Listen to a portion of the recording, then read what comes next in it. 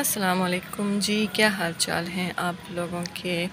آج اس ویڈیو میں میں آپ لوگوں کے ساتھ شیئر کروں گی کہ گل دوپہری کو کی ایک ایک ٹہنی پہ آپ لوگ زیادہ سارے فلار کیسے حاصل کر سکتے ہیں، اس کو گھنا کیسے بنا سکتے ہیں، اور پھر آپ کو بتاؤں گی ایک ایسا فرٹیلائزر بالکل زیرو کاسٹ پہ، فری آف کاسٹ جیب پہ بھاری بالکل بھی نہیں ہے۔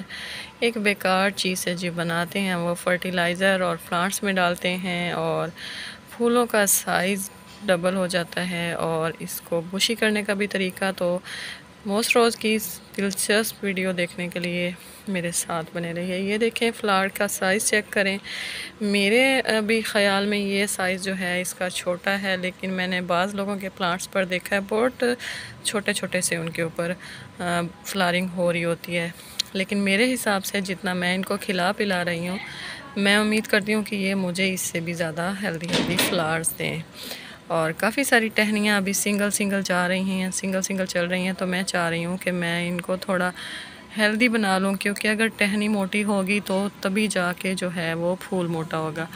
تو اس کے لیے جی ہم نے کیا کرنا ہے، جتنی بھی بریک ٹہنیاں ہیں، اگر ان کے اوپر برڈنگ ہو رہی ہے، کلیاں بن رہی ہیں یا نہیں بن رہی، تھوڑا سا دل پہ پتھر رکھنا ہے اور آپ لوگوں نے کر دینا ہے ان کا سیرا پنچ۔ اس طرح ان کو پنچنگ کرتے جانا ہے، جتنی بھی آپ کی موس روز کے اوپر باریک والی ٹہنی ہے۔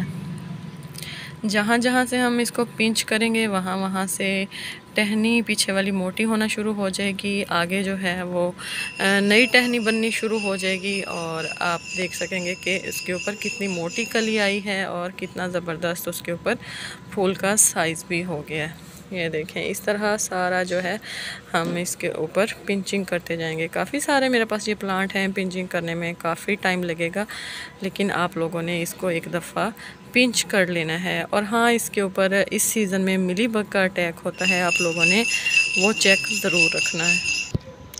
گلی میں شور ہو جاتا ہے جب بھی ویڈیو بنانے لگیں۔ پتہ نہیں گلی وال میں چیزیں سیل کرنے والے کو کوئی میرے ساتھ مقابلہ لگا ہوا ہے، وہ کہتا ہے کہ پہلے میں نے گلی میں چیزیں سیل کرنی ہے اور میں کہتی ہوں نہیں، پہلے میں نے ویڈیو بنانی ہے۔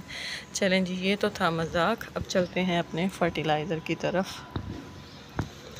یہ دیکھیے، یہ ہے وہ لیکوڈ فرٹیلائزر اب یہ میں نے بنایا کیسے ہے وہ بھی میں آپ کو بتاتی ہوں۔ آپ نے تھوڑا تھوڑا یہ اپنے جتنے بھی آپ کے پاس پودے ہیں، میرے پاس یہ جگ بھر کے رکھا ہوا ہے، لیکن آپ لوگوں کو دکھانے کے لیے تھوڑی شوشہ مارنی پڑتی ہے۔ اس کو میں نے گلاس میں بھرا ہے اور آپ لوگوں کے ساتھ شیئر کر رہی ہوں۔ یہ ہے کیا؟ یہ چنے کا پانی ہے۔ ہم نے جو چنے ہمارے گھر میں پکتے ہیں۔ میں نے وہ چنے بھگوئے ہوئے تھے آج صبح کے اور اس کا جو پہلا پانی ہوتا ہے، اس کو میں نے نکالا ہے اور بغیر کسی چیز میں مکس کیے اس کو ویسے ہی ڈال رہی ہوں۔ اگر آپ کا پانی وہ بچ جاتا ہے، آپ لوگ اس کو بوتل میں سیو کر کے رکھ لیں، بھر کے رکھ لیں۔ تین سے چار دن کے بعد آپ اس کو دوبارہ دیں۔ لیکن جب آپ اس کو دوبارہ دیں گے تو پھر آپ اس کو دوسرے پانی میں مکس کر کے دیں گے۔ کبھی بھی اس کو ویسے نہیں ڈال دیں گے۔ ابھی تازہ ہے تو ابھی آپ اس کو ویسے ڈال سکتے ہیں۔ جتنے بھی منرلز ہیں، ٹہنیاں باریک باریک ہیں، کیڑے مکوڑے کا اٹیک ہے تو پھولوں کا سائز بھی چھوٹا آ رہا ہے۔ تو آپ لوگ جو ہیں اس والا جو چنے کا پانی ہے، دال کا پانی ہے یا چاول کا جو پہلا پانی ہے، اگر فریش ہے تو ایسے ہی ڈالیں۔ اور اگر آپ لوگوں نے رکھا ہوا ہے بوتل میں بھر کے کافی دن گزر گئے ہیں تو پھر آپ اس کو مکس کرنا نہیں بھولیے گا، ورنہ سارے پلانٹس جل جائیں گے اور ان کے جو خوبصورت خوبصورت پتیاں ہیں نا، وہ بالکل براؤن ہو جائیں گی۔ آرگینک ورک کرتا ہے اور آرگینک نقصان بھی دیتا ہے۔ تو آپ لوگ ویڈیو کو پورا دیکھا کریں سکپ کیے بغیر، تو تب جا کے آپ کو سمجھ آتی ہے۔ ورنہ پھر آپ لوگ کمنٹ کرتے ہیں جی ہمارا یہ نقصان ہو گیا۔